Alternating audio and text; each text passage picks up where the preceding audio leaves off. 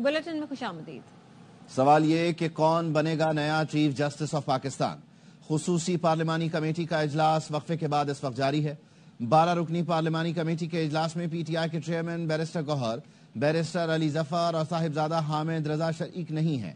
Supreme court के senior तरीन जजों जस्टिस मंसूर अली शाह, जस्टिस मुनीब अख्तर और जस्टिस याहिया आफरीदी की प्रोफ़ाइल कमेटी में पेश की गई। मुस्लिम लीग नून के एहसन इकबाल कहते हैं कि पार्लिमानी committee, chief justice of Pakistan का आज ही फैसला करेगी।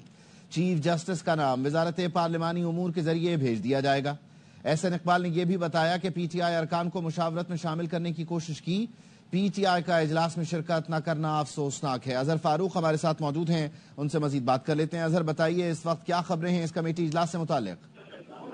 जी, खसूसी पार्लिमानी कमेटी का इजलास जारी है और इस इजलास में तीनों जो सीनियर मोस्ट जजेज हैं सुप्रीम कोर्ट के, उनके प्रोफ़ाइल का जायजा लेना जो है वो पार्लिमानी कमेटी ने शुरू कर दिया है। व्यक्ति, कानून और इंसाफ ने जजेस के नाम और प्रोफ़ाइल जो है वो कमेटी मेम्बरान में तकसीम करा दी है और इस वक्त तो तफसीली तौर पर तीनों जजेस के प्रोफ़ाइल का मरल अवार जो है वो जायजा लिया जा रहा है। जराये का ये कहना है कि आज ये कमेटी अपनी मंजूरी के हवाले से अपनी फैसला कर लेगी और पार्लिमानी अमूर के ज़रिए ये समरी जो है वो फॉरवर्ड कर दी जाएगी। तो इस वक्त तो नौ अरकान इस कमेटी के इस इजलास में शरीक है। कमेटी का जो सेक्रेटरी कमेटी का फराज जो है वो लेजिस्लेशन के एडिशनल सेक्रेटरी सरंजाम दे रहे हैं जबकि पीटीआई के अरकान जो है इस कमेटी के इजलास का हिस्सा नहीं है। तो इस बात का कभी इम्कान है कि उसी देर में ये पार्लिमानी कमेटी सुप्रीम कोर्ट के नए चीफ जस्टिस के तकर के हवाले से हतमी फैसले तक पहुँच जाएगी। ठीक है आजर फारूक इस हवाले से आगाह करे थे और इसी दौरान खबर ये आई है कि चेयरमैन बिलावल भुट्टो ने पीपल्स पार्टी के पार्लिमानी कमेटी के अरकान को हिदायत की है कि नए चीफ जस्टिस का फैसला मुमकिन हद तक इतफाक राय से किया जाए। संजय साधवानी से मजीद तफसीत लेंगे। बताएगा संजय। जी बिल्कुल chairman Pakistan Peoples Party Bilawal Bhutto Zardari की जानब से खसूसी पार्लियामानी कमेटी के जो अरकान हैं, उनको ये हिदायत की गई है, एक मैसेज उन्हें भेजा गया है, जिसके ज़रिए उन्हें ये हिदायत की गई है कि चीफ जस्टिस ऑफ़ पाकिस्तान के मामले पर जो तकरारी का फैसला है, उसमें मुमकिन हद तक इतफाक राय किया जाए, तमाम अरकान जिस नाम पर मुतफिक हो, वो नाम वज़ीर अजम पाकिस्तान को तजवीज किया जाए। Chairman Peoples Party Bilawal Bhutto ने ये भी कहा है कि कोशिश की जाए की कमेटी के तमाम जो अरकान हैं, उनका फैसला मुश्तर होना चाहिए। बिलावल भुट्टो जरदारी की जानब से पार्लियामानी खसूसी कमेटी के अरकान को ये हिदायत की गई है। ठीक है इतफाक राय की हिदायत की है। बिलावल भुट्टो जरदारी ने। अजहर फारूक भी हमारे साथ हैं। अजहर, ये बताइएगा अब यहाँ ये कंफ्यूजन है, क्योंकि जो टोटल कमेटी है, जिसका नोटिफिकेशन हुआ, बारह मेंबर्स पर है, उसका टू थर्ड आठ बनता है।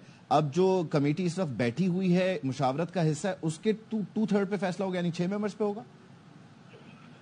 देखिए टू टू थर्ड जो बनता है वो आठ अरकान पर बनता है और इस वक्त कमेटी में नौ अरकान इस वक्त मौजूद है। आठ तो हुकूमती इतिहाद के अरकान है और एक रुकन जो है कमरान मुर्तजा उनका तल्लुक जमीयत इस्लाम से है। बारह अरकान पर मुश्तमिल की कमेटी है। लेकिन अगर बारह अरकान बैठे नहीं है तो जो जितने लोग बैठे हैं उसका टू थर्ड होगा? जी नहीं टोटल जो अरकान है बारह रुकनी। उस पर, उसका टू थर्ड जो है वो आठ अरकान का बनता है। तो इस वक्त आठ अरकान अगर फैसला करते हैं तो वो दो तय हो जाएगा। लेकिन इस बात का इम्कान है कि नौ अरकान जो इसमें कमेटी के अंदर मौजूद हैं, उनका इतफाक जो है वो हो जाएगा किसी एक नाम पर। लेकिन इतफाक के राय के साथ ये इसलिए मुमकिन नहीं है, क्योंकि तीन अरकान इसमें नहीं है। जिसको हम कसरत राय कहा जा सकता है कि हम्म, हम्म। का जो अच्छा अमूमन इस तरह की जो मुशावरत होती है उसमें बैक एंड फोर्थ जो पार्लिमानी लीडर्स होते हैं उनकी कोशिश होती है वो अपनी लीडरशिप को लूप में रखें रबते किए जाते हैं या मुशावरत की जाती है। यहाँ इस कमेटी में आप ऐसा देख रहे हैं कि जो पार्टी कायदीन है उनसे रबते में है ये लोग या ये सेटल्ड है बैठे हुए हैं और इन्हें पता है इन्होंने क्या करना है?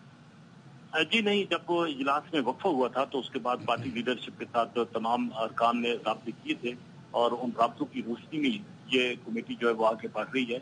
और इस बात का कभी इम्कान है कि पार्टी लीडरशिप के फैसलों की हदायत की रोशनी में कमेटी जो है वो किसी हसबी नतीजे तक पहुंचेगी।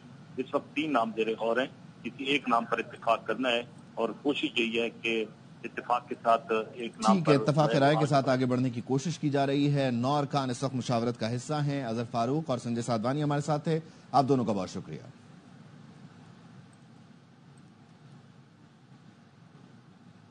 और पीटीआई ने नए चीफ जस्टिस की कमेटी में बैठने से इनकार कर दिया। मौलाना फजल रहमान की बात भी नहीं मानी। स्पीकर चैम्बर में खसूसी पार्लिमानी कमेटी और सुन्नी इतिहाद काउंसिल के मुजाकरात हुए। सबने मिलकर चेयरमैन पीटीआई को मनाने की कोशिश की।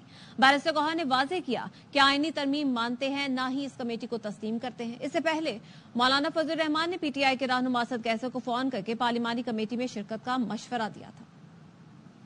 स्पीकर साहब ने अपने चैम्बर में बुलाया।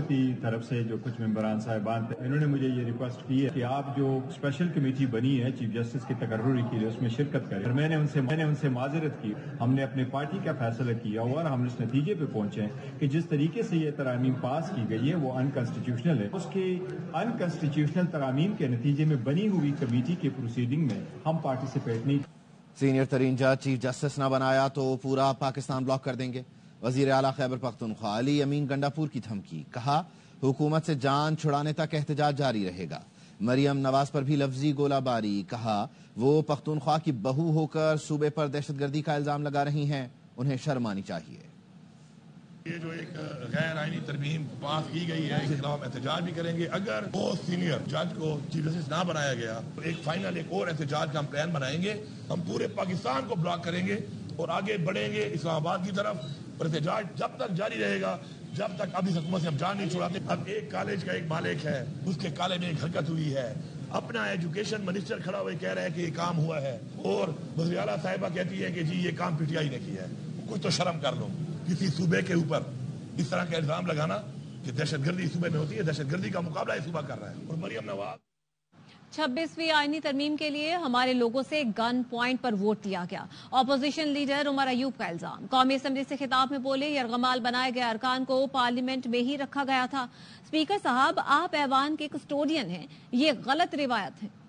दिन ट्वेंटी सिक्स अमेंडमेंट यहाँ पे पास हो रहा था। उस दिन गेट नंबर पाँच पे वीगो डाले बकायदा नेशनल असेंबली प्रीसेंट्स के अंदर वो लोग आए हैं। ये इस हाउस को डेमोक्रेसी को और पाकिस्तान की फेडरेशन को ये फर्दर डिरेल और कमज़ोर करेगी। जो हमारे यहाँ पे यरगमाल मेंबर्स थे, उन लोगों को वहाँ से लाया गया था, यहाँ पे बिठाया गया था, उनको चुप करके वोट करा के निकाला गया था। हमारे लोगों को गन पॉइंट पे जिस तरह से वोट ली गई है और बाकी लोगों को भी यहाँ पे चेम्बर्स के अंदर रखा गया है। ये गलत रवायात है। तहरीक इंसाफ इंतज़ार का शिकार है। पीटीआई वाले अंदरूनी धड़ेबंदी पार्लियामेंट के खाते में न डालें। वज़ीर इतलात तारड़ का अपोजिशन लीडर उमर अयूब को जवाब, बोले, तहरीक इंसाफ के अंदर चार ग्रुप लड़ते रहते हैं। बैरिस्टर गौहर और सलमान अकरम राजा की आज तलबी हुई कि पार्लिमानी कमेटी के लिए नाम क्यों दिए? अगर जमीर की आवाज़ पे कोई आया है और खुद आके बैठा है, अपनी मर्ज़ी से वोट कास्ट किया है, कि इनकी पार्टी इंतज़ार का शिकार है, आपस के इख्तलाफात खुल के सामने आगे चार ग्रुप हैं जो यहाँ पे आपस में लड़ते रहते हैं। देखिए, अपनी जो पार्टी के अंदर फाइटिंग है, उसको आप आपस में सेटल करें, उसको पार्लियामान के सर पे क्यों डालते हैं? शरीक हो एक ग्रुप कहता है कि उस कमेटी में मत बैठो। आज जो तलबी की गई है गौहर साहब की सलमान अकरम की जो तलबी की गई उन्हें कहा गया है कि आपने किससे पूछ के ये नाम दिए थे? खबरें और भी है शामिल करेंगे इस ब्रेक के बाद।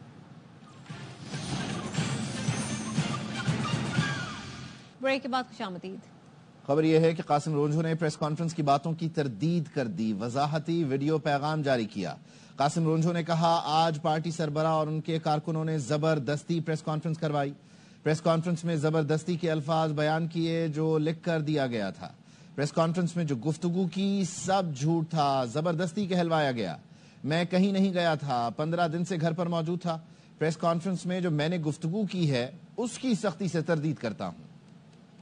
आज मुझे पार्टी के सरबरा ने और उनके उनके कारकुनों ने, जो मेन एम पी हैं, कुछ दो तीन एम पी और इन सबने ले जाके सेनेट में एक प्रेस कॉन्फ्रेंस ज़बरदस्ती करवाई उनसे। और वो टोटल फेब्रिकेटेड झूठ और उस पर मबनी है और ये ज़बरदस्ती के अल्फाज थे जो आगे लिखे हुए थे कि भाई मुझे घर से उठाया गया या क्या किया और, ये सारे मच्छर वच्छर ये सब कुछ उन्होंने लिख के आगे मुझे रखे हुए थे। वो मैं पढ़ रहा था। तो ये एक टोटल झूठ और फेब्रिकेटेड है। मैं घर पे ही मौजूद था पंद्रह दिन से, घर पे कोई ऐसा बात है ही नहीं जो ये कहलवाई गई है मुझसे। तो अब मैं इसके तरदीद करता हूँ, भरपूर तरदीद करता हूँ कि ये इसको मेहरबानी करके आप मीडिया में दोबारा इसको सही करो। सेनेटर कासिम रोंझो से पहले उनके बेटे ने एक वीडियो पैगाम जारी किया था और उसमें कहा गया था कि मेरे वालिद सेनेटर कासिम रोंझो से ज़बरदस्ती प्रेस कॉन्फ्रेंस करवाई गई। सेनेट वोट के बाद पार्टी पॉलिसी के तहत वालिद को इस्तीफे का कहा गया। वालिद को अगवा नहीं किया गया था, वो घर पर थे। मैंने ट्वीट करके भी बता दिया था। वालिद ने प्रेस कॉन्फ्रेंस में जो कुछ कहा, उनसे ज़बरदस्ती कहलवाया गया। कासिम रोजो के साहबजादे जहाँ जेब ने ए आर वाई न्यूज़ से गुफ्तगु की और ये जो अभी आपने वीडियो पैगाम देखा, कासिम रोजो का, जिन्होंने अपनी प्रेस कॉन्फ्रेंस में कही गई बातों की तरदीद की, इसी तरह की गुफ्तगु उनके साहबजादे ने की। उन्होंने क्या कहा, आप वो भी सुनिए, देखिए। ये सब फैब्रिकेटेड है। ये सारी पार्टी ने हमें फोर्सफुली और प्रेशर से करवाया है। हमें बुलवाया गया। एक ऑलरेडी साइन हमने उनको रेजिग्नेशन दिलवा दिया एज पर पार्टी पॉलिसी फिर उसके बाद ले जाया गया है कि नहीं, वापस चलें, वापस जलवाएँ। What was the need of going again forcefully मेरे वालिद साहब को दोनों हाथों से पकड़ के प्रेस कॉन्फ्रेंस की तरफ़ लेकर गए हैं। वहाँ पे फोर्सफुली इनको बोला गया, ये बोलो ये बोलो ये बोलो। He was under pressure from the party this is not real मेरे वाले साहब तो यहाँ घर पे थे। हम तो बोल रहे हैं। मैंने ट्वीट भी किए हैं, वो वाले साहब घर पे बैठे हुए हैं। ठीक है।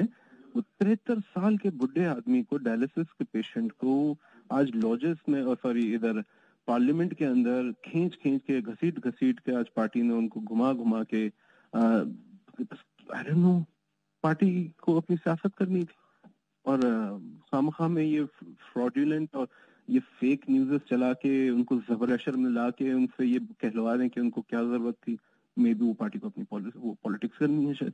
जी जी सर मेरे वालिद साहब बिल्कुल ठीक थे, घर में थे।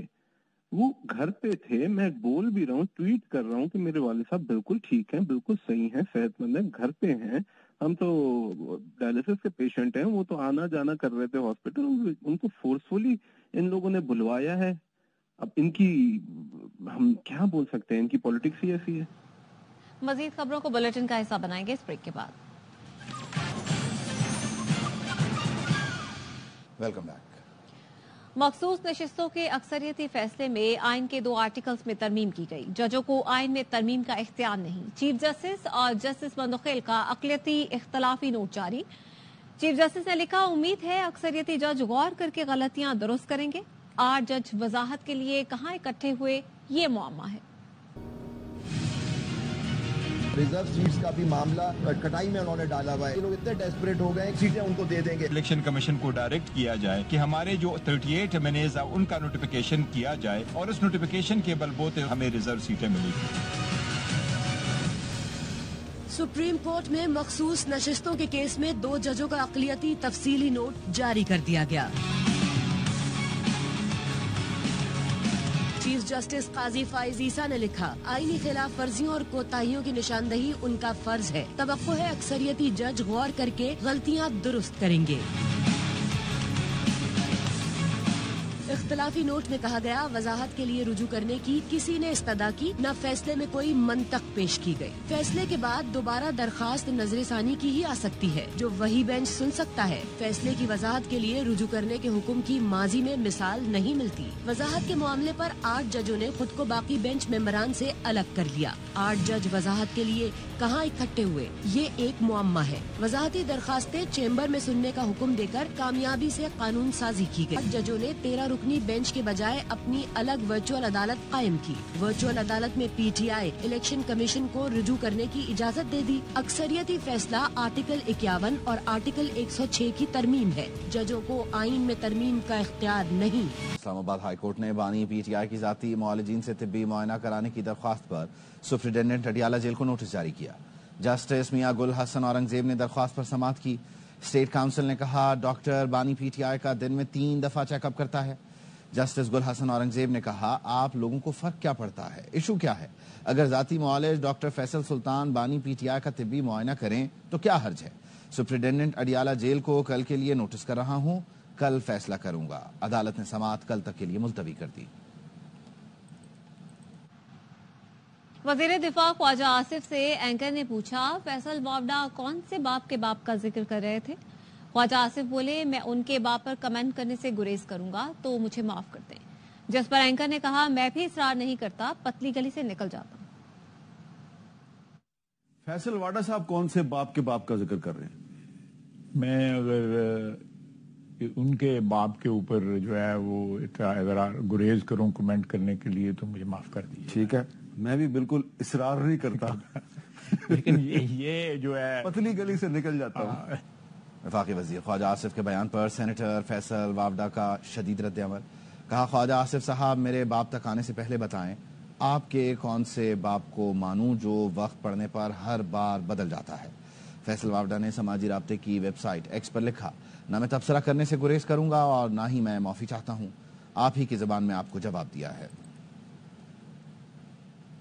हमने आज छह मंसूबों का अफ्ताह किया है। उनकी लागत छह अरब रुपए है। वज़ीर अला सिंध मुराद अली शाह की कराची में सहाफियों से गुफ्तगु, कहा, हम काम बहुत करते हैं, लेकिन गाते नहीं। कोई और होता तो उन छह मंसूबों के बारे में कई बार ज़िक्र करता। आधी आधी बात करता। अब हर इलेक्शन में मैं कराची पीपल्स पार्टी से होगा छह मंसूबों का अफ्ताह किया है। लागत छह अरब रुपए है। हम काम बहुत करते हैं हमारे साथ मसला यही है। कोई और होता ना बारह दफ़ा जाता आधी आधी बार एक बार। अब जब हमने अपने पाँव जमाए हर इलेक्शन में मेयर कराची हमारा होगा। तैयारे के इंजन की ताकत ने भारी भरकम कंटेनर्स उड़ा दिए। शिकागो एयरपोर्ट पर तैयारा स्टार्ट किया गया तो इंजन की ताकत ने कार्गो कंटेनर अपनी जानब खींचकर टुकड़े टुकड़े कर दिया। सामान वाली गाड़ी करीब पहुँची तो भारी भरकम कंटेनर तिंको की तरह उड़ने लगे। जिसमें से एक जेट इंजन में जा लगा। न्यूज़ बुलेटिन से फ़िलहाल इतना मजीद खबरों और तफसीत के लिए देखते रहिए आवाज़ न्यूज़।